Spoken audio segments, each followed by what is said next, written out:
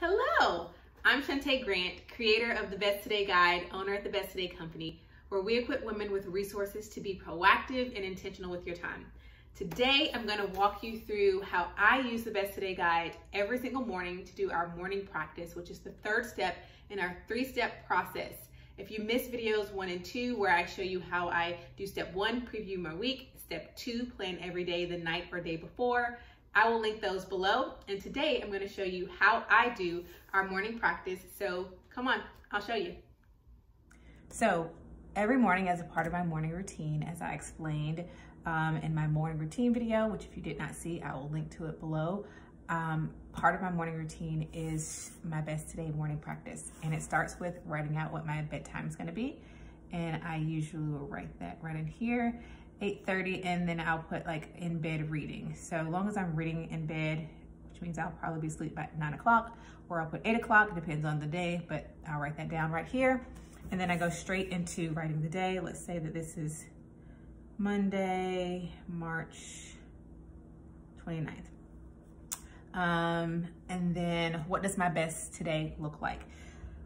Every day this changes or most days this changes a little bit. There are some things that are the same but what i do is i look over and say okay well what does my day call for? And so i'll go back and review what is coming up in the day. Okay this is what i need to do. This is how i need to show up. This is what's being required of me for this day. And i'll use that to decide what my best today um, is going to incorporate, but also I might pull in something from my morning time reading because this is what I've done before I get to the best today guide. And I may say, okay, well this morning I was reading about how important it is to trust in the Lord. And so I might say after reading that, okay, my best today looks like remembering to trust in the Lord and delight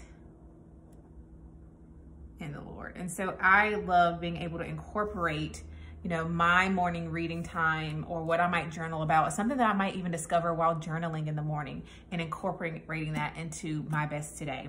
So that's one thing that I'll do um, by including my morning time, you know, what I might have gathered or, you know, gotten out of my morning reading. I'll add that in here. Um, usually almost every day, I know, especially on work days, I need to be focused on the present and only, you know, that thing that whatever I'm working on, um, I almost always need to have joy, be very joyful. And so I will write joy or be joyful. Um, what does my best look like today? Again, it very much so matters. Um, that's giving my children 30 minutes each undivided attention screen free. Um, I know that that looks like um,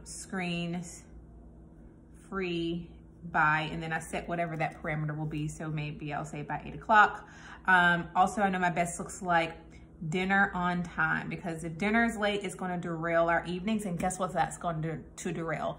The next day, the next morning. So dinner on time is when I write frequently and going to bed on time. Very important because I know that if this gets derailed, it's going to have a ripple effect and not a good ripple effect. So I write whatever again it is that I might need in that day.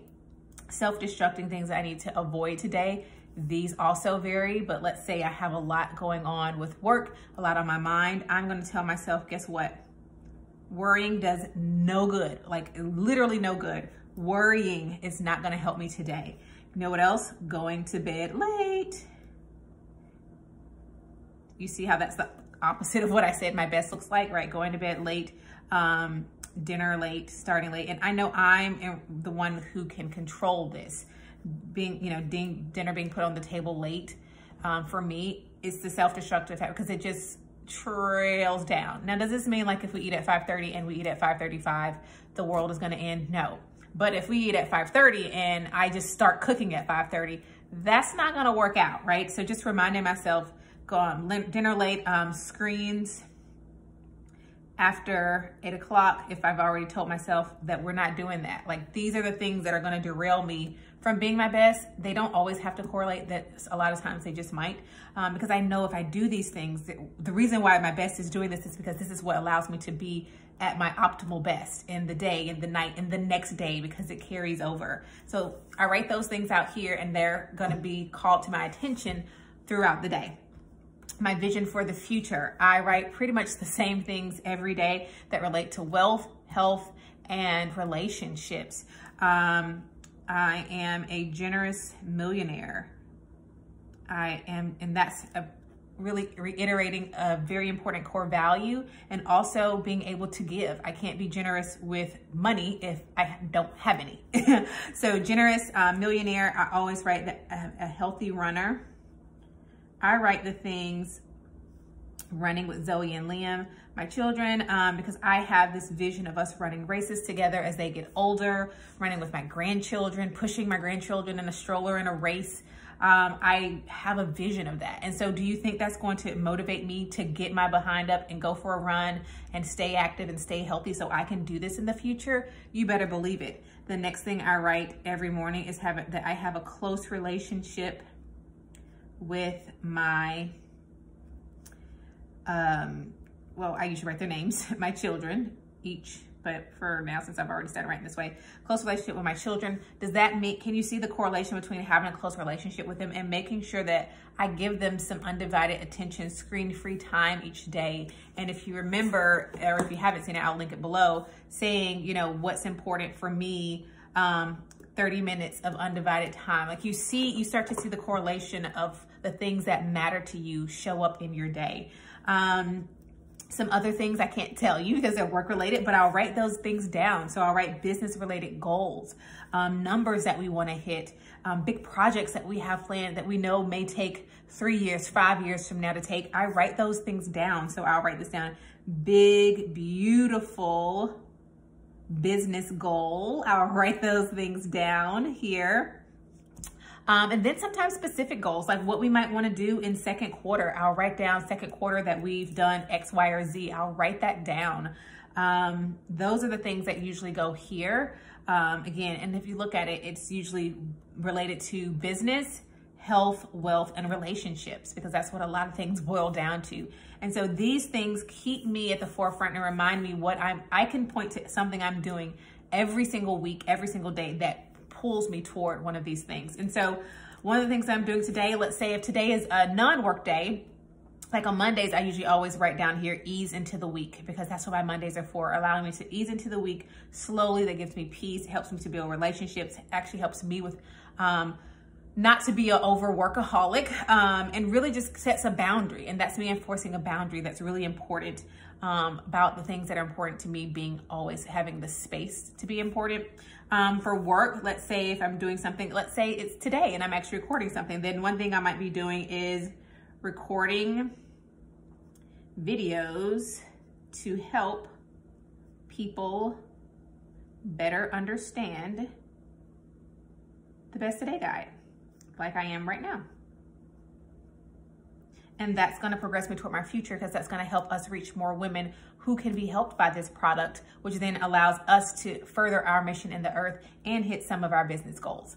And so that is how I plan, or not plan my morning, but do the best today morning practice every single morning. So there you have it. That is how I use the best today guide every single morning, seven days a week, 365 days of the year. If you'd like to learn more about the Best Today Guide, I've linked videos below for you, but you can also check out our channel here. Also, if you're ready to order your Best Today Guide, you can do so at besttodayguide.com. That's besttodayguide.com. Hey, have you downloaded the Best Today Planning Manual? Inside, I'm teaching you how to think differently about planning, what planning is and what it is not, and the crucial thing that stands in the way between you and having effective planning, particularly when it comes to planning your day. In fact, I give you a checklist for exactly how to plan out your day every single day so that you can be proactive and intentional with your time. You can download it right now for free at besttodayguide.com forward slash plan. That's besttodayguide.com forward slash plan, which I've also linked below. Get yours today at besttodayguide.com forward slash plan, the Best Today Planning Manual.